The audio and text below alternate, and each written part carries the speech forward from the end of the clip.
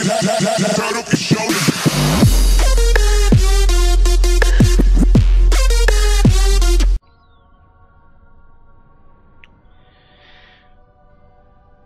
everyone, I'm back. So let's talk with this guy, um, Owain.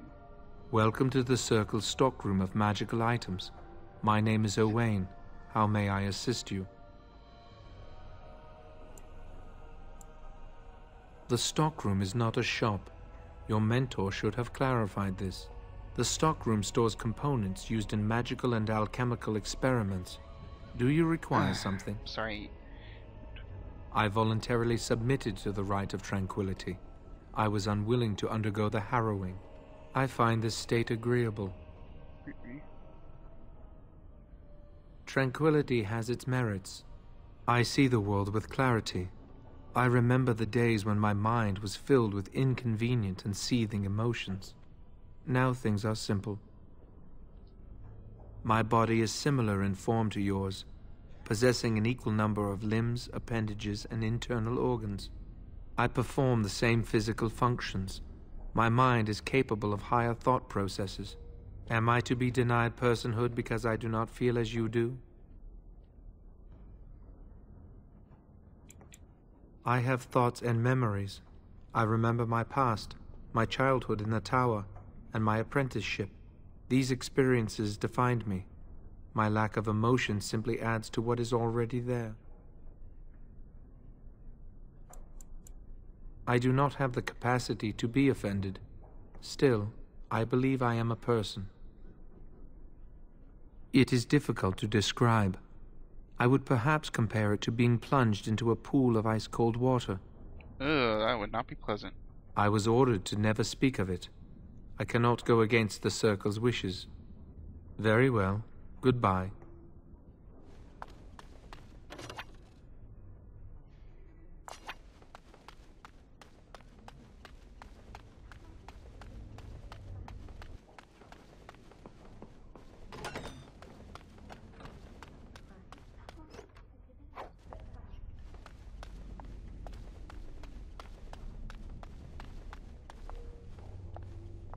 Not going to keep the first enchanter waiting, are you?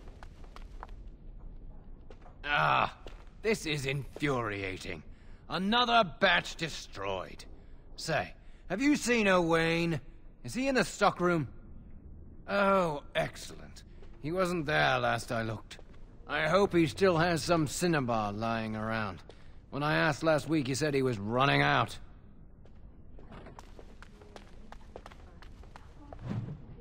Maleficarum.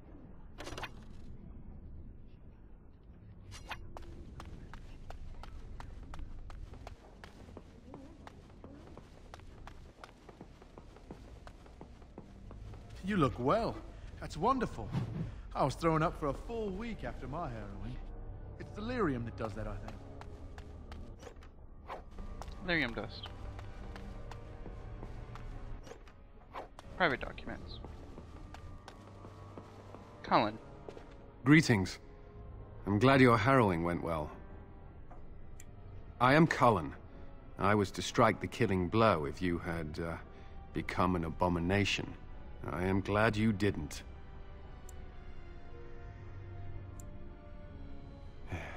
It is my duty. Some Templars I know discuss such things with glee. I don't share their enthusiasm. I try to serve the Maker first and foremost. As long as I am guided by his commandments, I cannot go wrong. Honestly, I've never seen an abomination, or been called on to slay one. Gregor would have guided me. Something must happen. But what if it's not obvious? Could abominations be walking among us right now? This is still new to me. Maybe one day I'll be as dedicated and driven as Knight Commander Gregor. You must be busy. Perhaps we can talk another time. He makes me uneasy.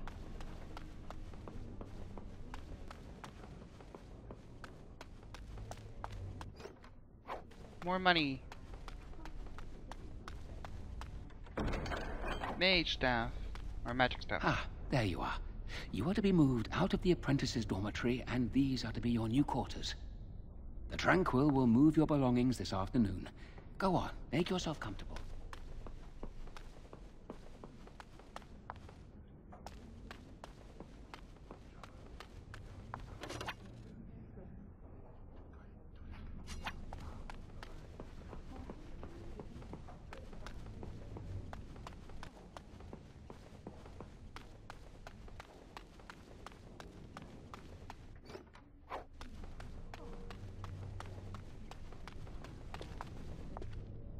Oh, excuse me. I didn't hear you come in. I'm sorry. I'm terribly busy right now. I have to prepare the room before the Grey Warden is done at his meeting with Irving. Grey Warden? They are an order of brave and noble warriors, sworn to give their lives to defeat the Darkspawn. You know, I almost became a Grey Warden once. There were several of us chosen, though the Grey Wardens only wanted one recruit. Uh, they only ever have one mage, you see. I think they thought I was the best candidate, but I was young and foolish, and I said I wasn't interested. They picked someone else instead, and that was that. I've regretted it ever since. Ah, well, I should get back to my work. Hmm, interesting. That's not likely. The would do something before it came to that. Four schools of magic. Will they? I think someone's here to speak to you, Senior Torren. Hello, were you looking for something? I'm Niall, a mage just like you. I've seen you around, haven't I? I must have. Oh, the fraternities. Groups of mages with a common agenda. I think we should all be isolationists. Stay in some remote mountain town far away from the mundanes who hate us. I'd go hide alone in the wilds if I could. But you know they just brand me an apostate and hunt me down. There is no leaving the circle. It's till death do us part. Romantic, isn't it? Yes, it is. If you leave the circle, you become an apostate. And the punishment for leaving is death. Pretty grim, huh? I've heard of hedge witches who've managed to survive on their own, eluding the circle for a lifetime. But if the Templars discover them, well, you know what happens.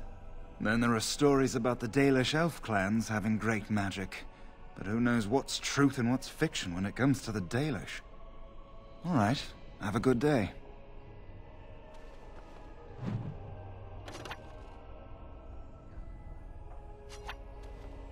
Hello. Congratulations on your harrowing last night. Good work. Ah, the fraternities of the Enchanters. You probably haven't heard of them. It's best not to get tangled up in circle politics. More trouble than it's worth, really. Hmm. Uh, oh, they're found in all circles throughout Thedas. Groups of enchanters who hold similar viewpoints, who band together to make their voices heard. The most influential fraternity are the Aequitarians. They are moderates and believe in a code of conduct that all mages should adhere to. Then there are the Chantry apologists, the Loyalists. The Chantry says something and they follow it to the letter. The Lucrosians just want to make money, and the Isolationists would like us all to be hermits and live on an island. Then, of course, there are the Libertarians. They want more power for the Circle, more autonomy. Huh. Well, if I had to, I'd say I was an Aequitarian, but I ducked out of the fray a long time ago.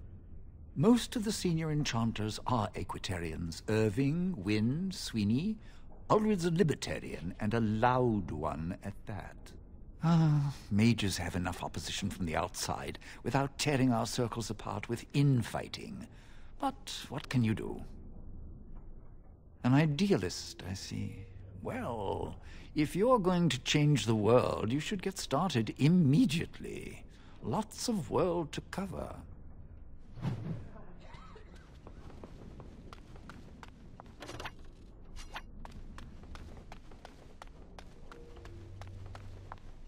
Do you need something?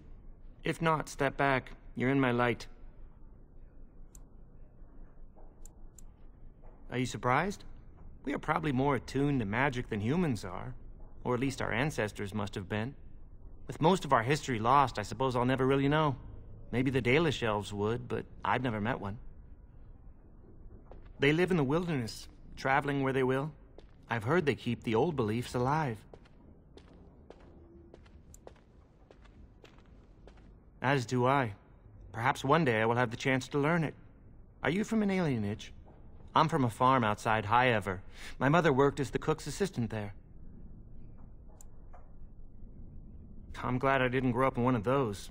Life was hard on the farm, but at least we were treated fairly well. I suppose it doesn't matter where we're from, does it? We're in the circle now. I am satisfied knowing the humans who look down upon me will fear me instead. But I should get back to my books. Good day.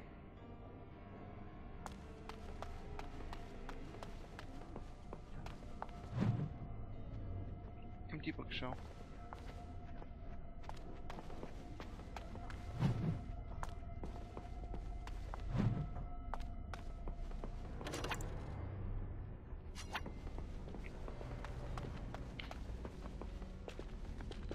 Oh, uh, hello. I don't believe we've met. Are you new to the Circle? I'm sorry. There are so many of you, and I get confused. Not to mention, these old eyes are starting to go. You're too kind. I'm old and about to fall apart. Nothing in the world can fix that. But I enjoy the library. These books, they're old friends of mine. And it's quiet. When you're my age, you'll appreciate the quiet. Anyway, uh, did you need something? I'm not good at talking. Too much chatter makes my head throb. Don't you have lessons to get to? Shoo! He's nice-ish.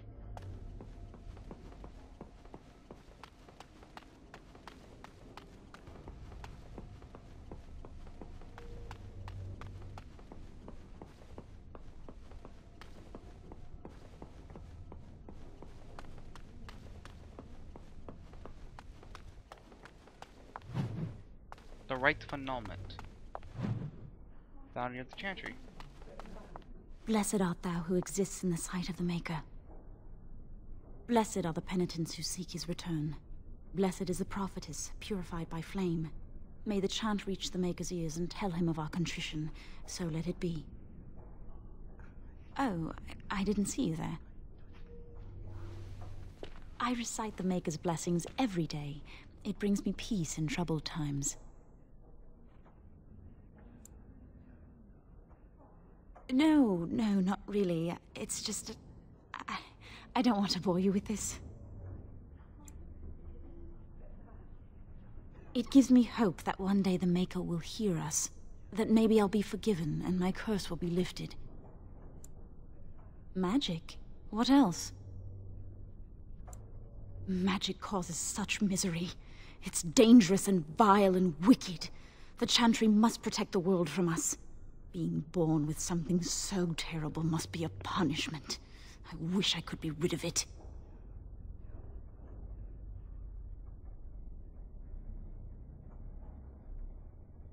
That takes the magic from me? It does, doesn't it?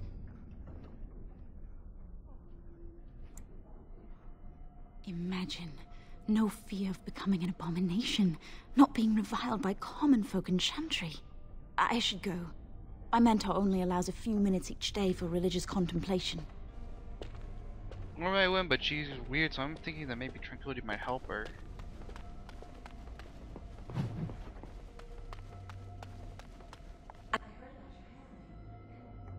I heard about your harrowing. Congratulations.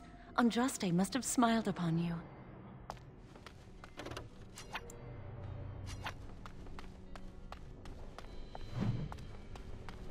Maker. Chant of Light. The Blight.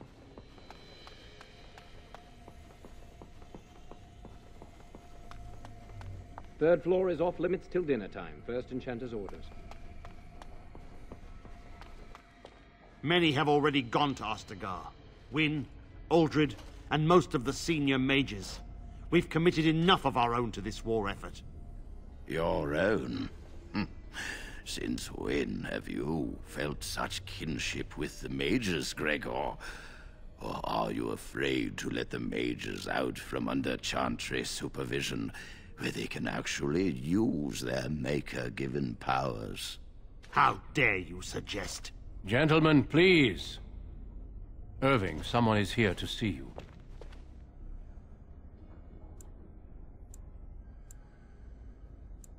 Ah, if it isn't our new brother in the circle. Come, child. This is... Yes, this is he. Well, Irving, you're obviously busy. We will discuss this later. Of course. Well, then, uh, where was I? Oh, yes, this is Duncan of the Grey Wardens. You've heard about the war brewing to the south, I expect. Duncan is recruiting mages to join the King's army at Ostagar. The Darkspawn threat grows in the south. We need all the help we can get. They are twisted monsters that dwell underground where the sun's light cannot touch them. They have formed into a horde in the Korcari Wilds and threaten to invade north into the valley. I fear if we don't drive them back, we may see another blight. Duncan, you worry the poor lad with talk of blights and darkspawn. This is a happy day for him. We live in troubled times, my friend. We should seize moments of levity, especially in troubled times. The harrowing is behind you. Your phylactery was sent to Denerim. You are officially a mage within the circle of magi. I'm sorry, what is this phylactery? Blood is taken from all apprentices when they first come to the tower, and is preserved in special vials. So they can be hunted if they turn apostate. We have few choices. The gift of magic is looked upon with suspicion and fear. We must prove we are strong enough to handle our power responsibly. You have done this. I present you with your robes, your staff, and a ring bearing the Circle's insignia. Wear them proudly, for you have earned them. It goes without saying that you shall not discuss the harrowing with those who have not undergone Uh, the oh, right. I already kind of already broke that rule. Then, take your time to rest, or study in the library. The day is yours. I will return to my quarters. Would you be so kind as to escort Duncan back to his room, child? The guest quarters are on the east side of this floor, close to the library. Now, if you'll both excuse me, I have matters to discuss with Gregor. No, they changed.